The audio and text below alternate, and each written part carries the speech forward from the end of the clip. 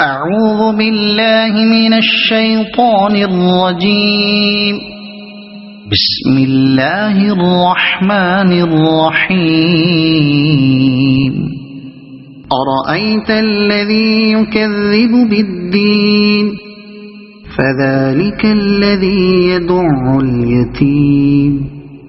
ولا يحض على طعام المسكين.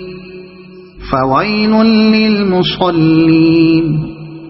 الذين هم عن صلاتهم ساهون. الذين هم يراءون ويمنعون الماعون. صدق الله العظيم.